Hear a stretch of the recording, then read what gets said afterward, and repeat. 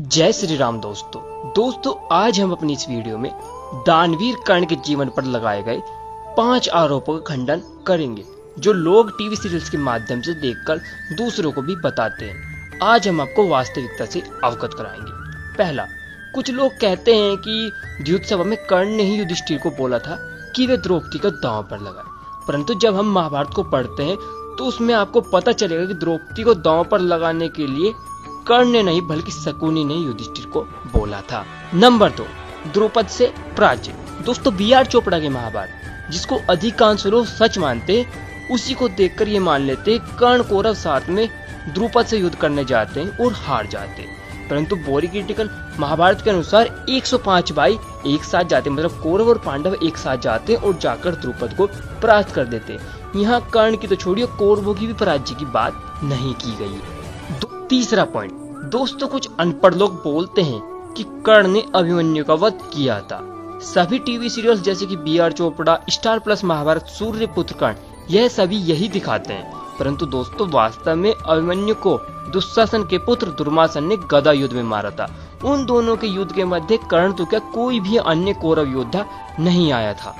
चौथा point TV serials में दिखाया जाता है कि घटोत्कच के साथ युद्ध करते समय कर्ण कुछ नहीं कर पा रहे थे, इसलिए वो वसावी शक्ति का प्रयोग करते। दोस्तों, परंतु महाभारत की बुक के अनुसार, यह युद्ध कुरुक्षेत्र का सबसे भयानक युद्ध था। कर्ण ने घटोत्कच की हज़ार तरीके की मायाओं को अपने अस्त्रों से काट कर उसे इतना घायल कर दिया था कि उसके शरीर पर दो अंगुल भी जगह शेष ऐसी नहीं थी।